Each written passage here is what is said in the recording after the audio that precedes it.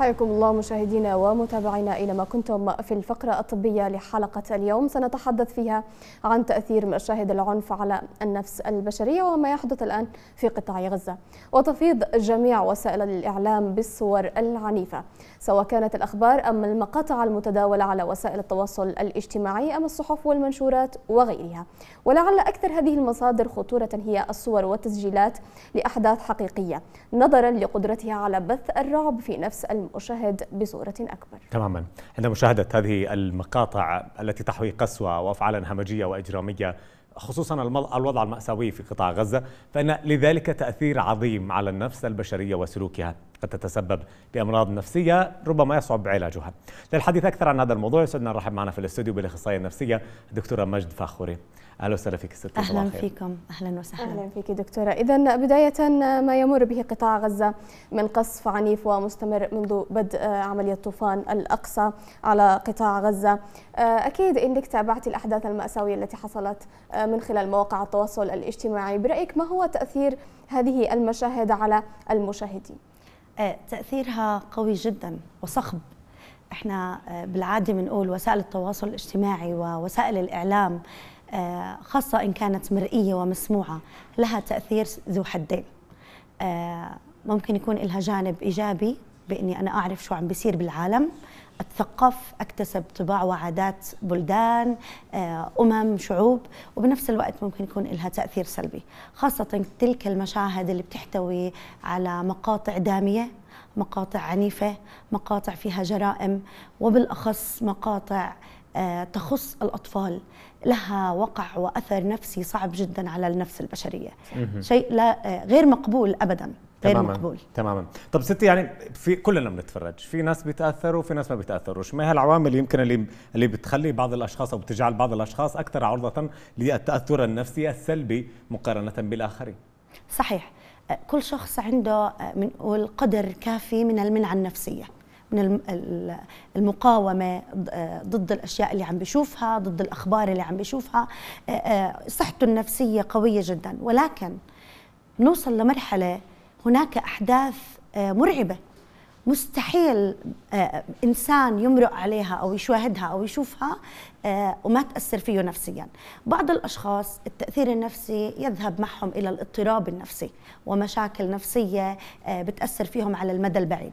ولكن بعض الأشخاص ممكن إنهم فترة معينة وبيمرقوا منها. خاصة إن كان هناك بعض المهارات والأساليب اللي متعودين عليها بأنهم يفرغوا الطاقة السلبية اللي داخلهم.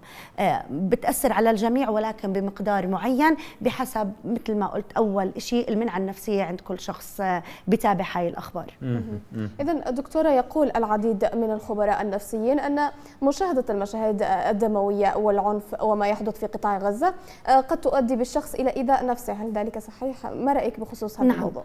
أحيانا إذا أنا عم بحضر مشاهد وشفت مشاهد جدا بتأثر على دماغي على جهازي الفسيولوجي بحاول بدي أحضر كمان. بصير في عندي حافز إني وفضول إني بدي أشاهد مقاطع أخرى. صح. بدي أوصل لمرحلة آه شكله في مشهد رح يكون غير عن اللي اعتدت عليه أو شفته من قبل. فهذا بطبيعته بحد ذاته ممكن يدخلني بمتاهة إنه أنا بدي قدر أكبر من العنف والمشاهد الأليمة. ممكن يدخلني لعتبة من الاحتمال والقدرة على ضبط النفس. أتعداها أصير بدي أكثر بدي أتابع أكثر بدي أشوف أكثر بدي أسمع أكثر الصخب الموجود بهاي المشاهد الأصوات إحنا بنسميها ال sound effects والمشاهد بحد ذاتها بتتخزن عندنا بمنطقة بالدماغ اسمها amygdala أو منطقة اللوزة. هاي المنطقة بتاخذ صور وبتخزن معها عاطفة وشعور ما بتخزن الصورة مجردة. فبتلاقينا بعد فترة بصير يظهر علينا أعراض إحنا مش حاسين فيها. ليه؟ لأني أنا حضرت أكثر ودخلت لعمق أكبر من اللي أنا ممكن احتمله وأنا مش حاسس بحالي بشكل لا إرادي أنا بدي أحضر كمان. فهون أنا بدخل للأذية النفسية نعم. مش قادر أنام. مش قادر أدخل أروح على دوامي لأنه المشاهد موجودة بداخلي مش قادر أتخلص منها. حياته الروتينية الطبيعية. نعم. بتأثر على الحياة الروتينية بشكل عام بتأثر على نومي. وعلى آه، صحتي الجسدية بشكل خاص. هذا إحنا بنتكلم على الكبار يعني بشكل عام. نعم. فلو نجي نتكلم عن الأطفال اللي يعني اللي موجودين في غزة واللي برا غزة أيضا من أطفالنا اللي بيكونوا موجودين معنا وإحنا فاتحين الأخبار يعني طوال اليوم. أكيد لما يمرق بيشوف مشهد ولا مشهدين آه، مشهد عنف. صحيح. كيف يمكن أن تؤثر اذا هذه المشاهد على الأطفال؟ آه الأطفال هم الحلقة الأضعف. بكل اللي عم بيصير. هم أشخاص لا حول لهم ولا قوة. مش قادر لا قادر يهرب ولا قادر يعبر عن اللي جواته بشكل صريح. مشاعرهم ملخبطه جدا. صح. آه، اللي بالحدث بحد ذاته هم بحالة آه، آه، يصعب شرحها أصلا. مش قادرين إحنا نوصفها لأنه إحنا مش جوات الحدث. ولكن إحنا بنشاهد الألم والمشاعر النفسية المخيفة لهم اللي عم بيحضر وعم بيشاهد من الأطفال ما عندهم القدرة الكافية إنه يميز ويقول هذا الحدث بيأثر على صحتي ولا لا. مش قادر هو بالنسبة له في فضول وأنا بدي أحضر أكثر إحنا بنعرف بوسائل الإعلام لما بيكون في مشهد بيحطوا لك لا يسمح لمشاهدته آه، تحت عمر ال 18 آه، أو تحت عمر الثلاث آه، سنين أو تحت عمر 12 بيكون في كاتيجوري معينة لهذا الفيديو مش لازم يحضروا هذا الطفل. بس حاليا التلفزيون شغال. بغرفة الجلوس آه، آه، بالمنزل. فالأطفال مضطرين إنهم عم بيحضروا عم بيشاهدوا مشاهد فعليا بتأثر عليهم نفسيا آه، مش بالوقت الحالي فقط ولكن بتأثر عليهم على المدى البعيد. أذكر في حرب الخليج وأذكر في حروب إيران والعراق بوقت كثير قديم. كانوا أهلي يحطوا هالتلفزيون وكنت أنا عم بحضر بشاهد وأنا كنت بحب أحضر الأخبار كثير لغاية الآن هناك مشاهد لا أستطيع محوها من ذاكرتي وسببت لي بوقت من الأوقات كوابيس لا لم أستطع النوم منها. فبتأثر بشده على الجهاز العصبي على الجهاز الهضمي. بتأثر على كيف الطفل بده يعبر عن مشاعره. مش قادر إنه يوصف شو اللي عم بشعره. هناك بعض الاضطرابات ممكن تصاحب الأطفال نتيجة هذه المشاهد. واحدة منهم اضطراب الهلع بنسميه. بصير عنده panic attack من أي موقف من أي صوت ممكن يسمعه من أي آه، آه، آه، قصة عم بسمعها أو أي خبر بصير مش قادر ياخذ نفس ولا قادر إنه تجي نوبة هلع. نعم نوبة الهلع. وأيضا هناك اضطراب بيختص بالأطفال أيضا وبيختص بينصب يسمى اضطراب كرب ما بعد الصدمة. يمكن ما بيبين باللحظة الحالية. كرب ال PTSD بينصاب فيه الطفل بتبين أعراضه أحيانا بعد ستة أشهر وأحيانا بعد سنة وأحيانا بعد ذلك. فإحنا كأهل كثير مهم ان ننتبه لهذا الموضوع. الطفل لا حول له ولا قوة اللي قدامه رح يحضره. إذا ما تدخل يمكن حتى بيركز مع أعداد الشهداء. شفت أطفال بيعدوا. نعم. بيعدوا نعم كم شهداء؟ بيعدوا. ماما وصلوا نعم. هيك خصوصا وصلوا هيك. نعم عم بيعدوا. حافظين كمان يحفظوا. بيحفظوا خط خاصة الخبر تبع امبارح هو اللي الأطفال اللي بالحاضنة. بالنسبة لهم هذا شيء مؤلم. صح خد تقريبا 39 رضيع. نعم. طيب دكتورة أنت تحدثتي عن خطورة المشاهد الدموية على الأطفال في هذا السن. طيب إذا كان الأهل مش واعيين أن طفلهم فعلا يتأثر من هذه المشاهد كيف ممكن يحصل للأطفال إذا لم يعني الأهل لم ينتبهوا على أي شيء؟ آه، لازم الأهل يميزوا بين أنه أنا كبالغ بقدر أني أوقف التلفزيون بقدر أني أنقي أو أختار إيش بحضر أو ما بحضر.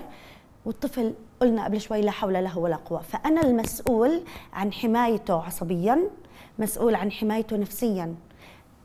بدي أختار الوقت المناسب حتى أشاهد الأخبار، إحنا ما بنمنع الناس إنها تشاهد الأخبار، بالعكس هذا جزء من تضامننا مع الشعب صحيح. الفلسطيني، إنه أنا بدي أعرف شو عم بيصير ويكون لي موقف واضح تجاه ما ما يحصل، ولكن بدي أختار الوقت المناسب إنه أطفالي ما يشاهدوا معي، أنا بقدر كأهل إني أوصف لهم إيش عم بيصير ضمن إطار آه، آه، آه، ما يربط الصورة بالحدث. وتضل الصورة مخزنة جواته أنا بقدر إني آخذ موقف وأشرح لأولادي الموقف اللي أنا ماخذه تجاه القضية اللي عم بتصير حاليا والعدوان اللي عم بيصير على غد على غزة. أنا بقدر أشرح لأولادي إنه اللي عم بيصير على غزة هذا لا ينطبق على كل العالم. يعني مش مش مش شرط إنه يصير معك طفل موجود بالأردن مثلا أو موجود باليمن أو موجود. هذا غير لا يعمم زي ما بنقول. شيء ثاني أنا بدي أحاول أفرغ الطاقة السلبية الموجودة عند أطفالي بشتى الأنشطة والوسائل. ففي أنشطة أنا بقدر أستغلها وأساهم فيها مع أطفالي حتى أفرغ الأشياء اللي حضرها واللي سمعها واللي شاهدها واللي اختبرها الفترة الماضية من خلال ما يعرض على شاشة التلفاز أو وسائل التواصل الاجتماعي. حاب أعرف منك هذه الأنشطة والاستراتيجيات اللي يمكن بتساعدنا على تحسين الحالة نعم. النفسية. أول شيء قلنا بدنا نحدد وقت آه، آه، آه، ل- كال- لأهل لحضور ال- ال- الأخبار. نعم لمتابعة الأخبار وأراقب أطفالي. ثانيا إيش بيحضروا على وسائل التواصل الاجتماعي؟ لأنه وسائل التواصل الاجتماعي هلأ متاحة عند الكل على هواتفهم. فأنا بدي أعرف شو عم بيحضروا أطفالي لوين واصل معهم لوين واصل معاهم الأمور. ثالث إشي بدي أحاول قلت قبل شوي أفرغ اللي حضروه واللي شاهدوه واللي سمعوه. من خلال أنشطة آه، بتساهم قدر الإمكان بإنها آه، آه، هاي الطاقة السلبية الموجودة آه، تستبدل بطاقة إيجابية أنشطة فكرية أدبية علمية نعم أنشطة حركية. فنية أنشطة فنية مم. بالجانب الأول آه، الفنية وهناك ناس مغلوطة بتاخذ فكرة مغلوطة إنه أنا لازم أكون شاطر بالرسم عشان أشارك بأنشطة فنية. لا مش هيك. أنا بقدر أفرغ وأستخدم الألوان بصورة آه، تلقائية وبصورة عشوائية حتى أفرغ الطاقة وأعبر عما يخالجني من مشاعر آه، بطريقة آه، ما إلها ما عليها قيود. فأنا بهاي الطريقة بفرغ وبحرر نفسي من هاي المشاعر بطريقة ما حدا بي- بيقدر إنه يقرر عني ولا حدا بيقدر إنه يحاكمني باللي أنا رسمته. آه، ثاني شيء الموسيقى. الموسيقى جانب مهم جدا. آه، بتروق. بتعطي البني آدم آه، طاقة إيجابية مهمة جدا. آه، ثالث شيء زي ما تفضلت الأنشطة الحركية الرياضة. ممارسة الرياضة لعمر ال- الأطفال مهم آه، لشتى المجالات مش فقط للحالة النفسية. فهاي مهمة جدا. بدل ما أقضي وقت مع أبنائي فقط بمشاهدة التلف- التلفاز باخذ معهم وقت حتى أمارس نشاط رياضي خارج المنزل. غير هيك أنا بدي أشرح لأولادي العالم فيه ألمات فيه آه، آه، حروب فيه آه، أشياء مؤلمة جدا. ولكن هناك عدل. ربنا عادل. شو بنسميها؟ القدرة الإلهية عادلة. فهون بقدر أنا أربط ابني بالوازع الديني بالصلاة. بأنه أنا إحنا بدنا ندعي لهم.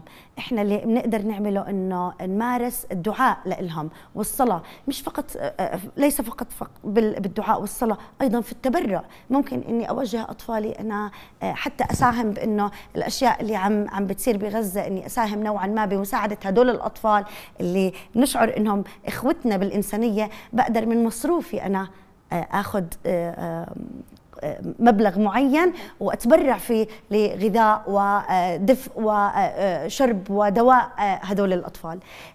الوضع ليس بالسهل، أه، هاي حرب على الإنسانية. فإحنا قد ما بنقدر كأهل كأولياء أمور بدنا نحافظ على صحة أطفالنا النفسية أه، قدر الإمكان بدنا نحاول نشرح لهم الموضوع اللي عم بيصير بطريقتنا دون أي تأثير نفسي وأي جانب آه، آه، بكرة أو على الصعيد الزمني بعد شوي آه، إحنا نحاول نتغلب بان نعالجه. الاضطرابات النفسية مش اضطرابات سهلة. بناخذ جهد ووقت ومبلغ مادي حتى إني أنا أعالج أطفالي منه. فإحنا بغنى عنه. نحاول قد ما بنقدر نحمي أطفالنا منه. تماما تماما محتاج تكاتف الجميع أكيد لازم نعم. الاهل يكونوا واعيين نعم. لأهمية صحيح. مساعدة أبنائهم على صحيح. الطلوع من الحالة النفسيه. السيئة صحيح. إحنا بنتعب زي ما قلنا من البداية إحنا وإحنا كبار نعم. آه، بنتأثر صحيح. التغذية كيف ممكن كمان الغذاء إنه يساعدنا على على تجاوز هذه المرحلة في ناس كثير بنسمعهم بيقولوا أنا ماليش نفسي أكل ماليش نفسي أشرب صحيح الغذاء ال- ال- الصحي آه، إحنا ما بنحكي ال- الغذاء بالكتره ولا بالكمية. إحنا بنحكي العناصر الأساسية آه، مهمة جدا من كربوهيدرات من بروتينات من آه، فواكه من خضار. هاي من أحماض. هاي آه، ما لها دخل بالكترة. هاي إلها نوعية. بالقصد الموجود. نوعية نعم.